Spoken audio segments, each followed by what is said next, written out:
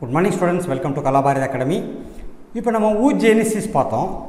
அந்த ovum that is female gamete in humans that is in the males அதனோட structure எப்படி இருக்குன்னு சொல்லி இந்த டிஸ்கஷனில் பார்க்கலாம். ஓகே ஹியூமன் ஓவம் இஸ் நான் கிளிடாய் நான் கிளிடாய்க் என்ன?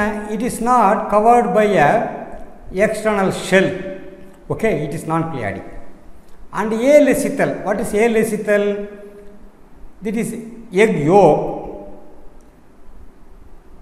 is very very less negligible. So it is called as alecithal on microscopic naked eye it is can be seen under microscope. egg உடைய cytoplasm is known as ooplasm because it is called as ovum so it is cytoplasm is called as ooplasm it has got a large nucleus. It has got a large nucleus. This nucleus is called germinal vesicle. This nucleus is called germinal vesicle. Germinal vesicle. Okay. Worm, ha- worm has three coverings. It has got three coverings. One, two, and three. Three coverings. The inner covering. The inner covering is transparent and it is called vitelline membrane. It is called vitelline membrane. Inner covering is transparent and it is called vitelline membrane. And next middle covering is called zona pellucida. This is zona pellucida and this is thick. Okay. Then outer is this also thick, zona pellucida is also thick, outer cover is also thick. This is the outer covering.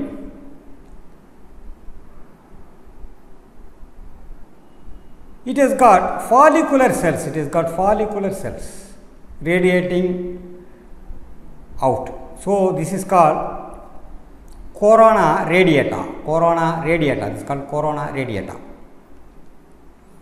Between the vitelline membrane and the zona pellucida there is a small space narrow space that is called perivitelline space. That is called perivitelline space. Perivitelline space. Now we will see what is the difference between spermatogenesis and oogenesis. Here is the spermatogenesis here is the oogenesis. Spermatogenesis happens where it happens in the testis oogenesis happens in the ovaries. Then meiotic divisions are always equal divisions in spermatogenesis whereas it is unequal division in oogenesis because polar bodies are formed which are very small. Cytoplasm is transferred to the oocyte. Okay? Then germ line epithelium is involved in gamete production. That is the, in the inside of the seminiferous tubules. But here germ line is not involved. Here germ cells are formed before birth itself. So, germ line is not involved in gamete production. So, gametes. So, number of gametes produced in spermatogenesis is 4. Here each follicle gives only one ovum, only one, one gamete plus 2 to 3 polar bodies. These polar bodies are very small and they disintegrate. Size of the gamete. The final product sperm is smaller than the spermatocyte. But here this final product ova, ovum is larger than the oocyte. Okay. Then duration. Here at puberty it starts the production and when it starts the production from spermatogonia to spermatozoa, the process is uninterrupted. It is continuous process. Here, it is in arrested stages because no oogonia is produced or added after birth.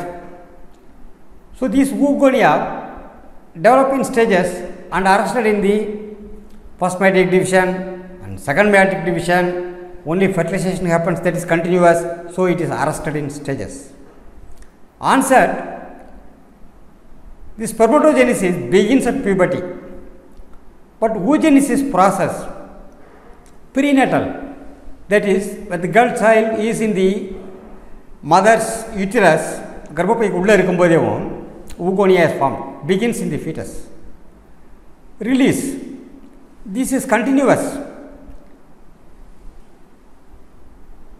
production is continuous uninterrupted process and release is also continuous but here ovum is released at every menstrual cycle that is once in a month monthly from puberty to menopause menopause pubertyயிலிருந்து menopause வரைக்கும் என்ன menstrual cycle முடிய நிற்கிற காலகட்டம் வரைக்கும் every month only one ovum is released this spermatogenesis process ends where lifelong means from puberty to senescence sta- stage up to that stage வயசான காலம் வரைக்கும் but reduces with age அது வரைக்கும் கண்டினியூ ஆகும் பட் ஹியர்